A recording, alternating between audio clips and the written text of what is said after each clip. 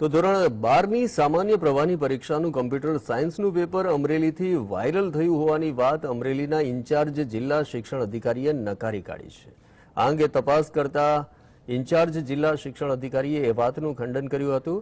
Viral થયેલ પેપરના series number અમરેલીના કેન્દ્રો સાથે મેચ નથી થતા હોવાનું શિક્ષણ અધિકારીએ જણાવ્યું છે.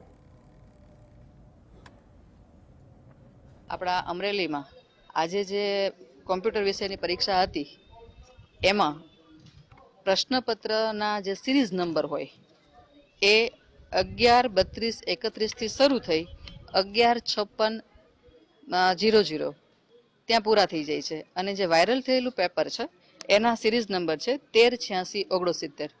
તો એ આપણા જિલ્લામાંથી એ સિરીઝ નંબર છે જ નહીં. એટલે અહીંયાથી આ પ્રશ્ન પેપર ફૂટ્યું છે અથવા વાયરલ થયું છે, એવો પ્રશ્ન જ રહેતો નથી.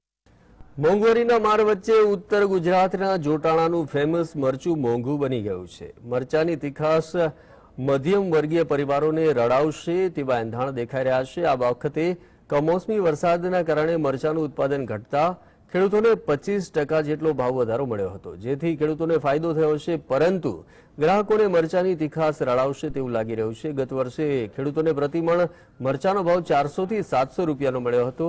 જો કે ચાલુ વર્ષે મરચાનો ભાવ વધી અને નવસો થી એક હજાર એકસો સુધી પહોંચી ગયો છે, જેની ખેડૂતોમાં ખુશી જોવા મળી રહી છે.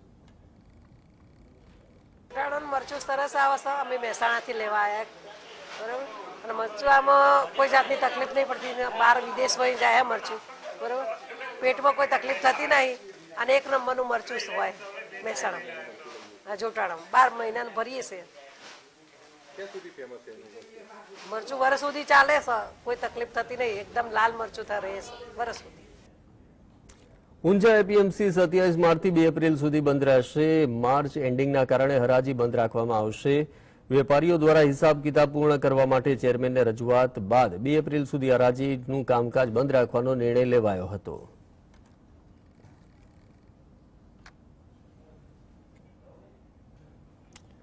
રાજકોટ સોમનાથ નેશનલ હાઈવે અંતર્ગત વડાલથી વંથલી સુધીનો નવો બાયપાસ રોડ ટૂંક સમયમાં શરૂ થઈ જશે. પરંતુ આ બાયપાસ રોડ શરૂ થાય તે પૂર્વે જ કેટલાક ગામના ખેડૂતોની મુશ્કેલીમાં વધારો થયો છે.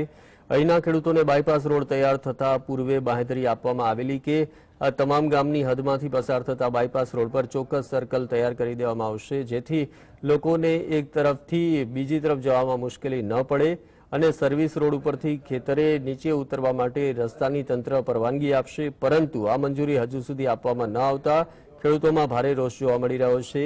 આ પડતર માંગ મામલે ખેડૂતના નેજા હેઠળ આ તમામ ગામના લોકો દ્વારા જૂનાગઢ જિલ્લા કલેક્ટર કચેરી ખાતે આવેદનપત્ર આપી અને રજૂઆત કરવામાં આવી હતી.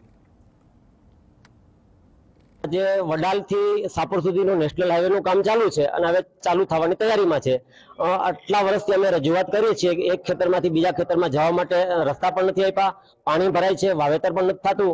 એના માટે કરીને આજે કલેક્ટરશ્રીને અમે રજૂઆત કરી છે. આવનારા સમયમાં જો અમારા ખેડૂતોની વ્યવસ્થા નહીં કરે, તો ગાંધી ચિંધ્યા માર્ગે અમારે આંદોલન કરવું પડશે. અને ખેડૂતોને ડરાવી, ધમકાવીને નેશનલ ઓથોરિટી દ્વારા નોટિસ આપવામાં આવે છે કે અમારે નેશનલના હાઈવેને તમારે ટચ નહીં કરવાનું. અમારે એક ખેતરમાંથી બીજા ખેતરમાં જવા માટે શું કરવાનું અમારે? શું પ્લેન ખરીદવાના? એના માટે કહીને અમારે આંદોલનનો માર્ગ અપનાવવો પડશે. સુરતના લિંબાયત વિસ્તારમાંથી મૃત હાલતમાં મળી આવેલા નવજાત શિશુના કેસમાં પોલીસે મહિલા સહિત તેના પતિની ધરપકડ કરી છે. લિંબાયત ખાતામાં આવેલી શિખા હોસ્પિટલની મહિલા નર્સની પોલીસે સીસીટીવી ફૂટેજના આધારે ધરપકડ કરી અને સાત દિવસના રિમાન્ડ મેળવ્યા છે.